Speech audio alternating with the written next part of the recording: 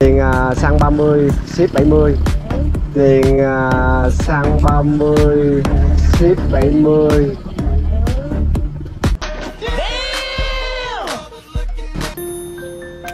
Thôi con nói giỡn. Á Con lấy cô tiền xăng thôi. Đồ ngu.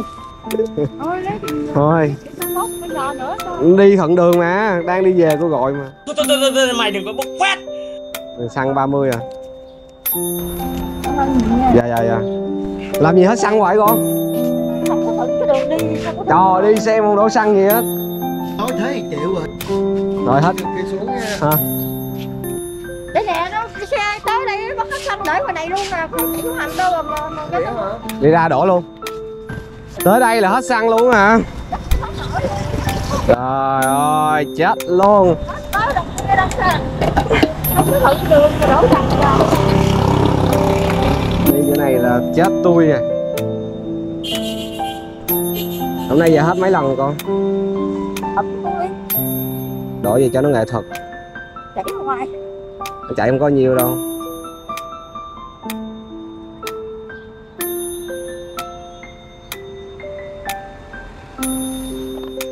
Trời gió hù hù còn đổ hâu rồi biết gì thì chắc cỡ này.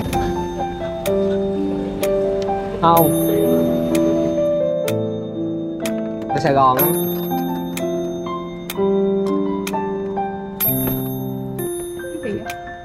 Rồi hết trăm nha con Tiền à, xăng 30 ship 70 Thôi con nói giận á. Con lấy cô tiền xăng thôi. Thôi.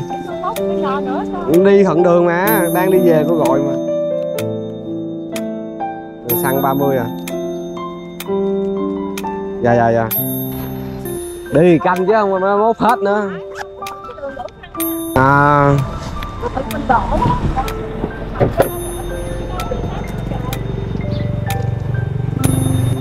Dạ dạ dạ. Để xe đây luôn à. Không ai lấy đâu. Được. Hào án Hào án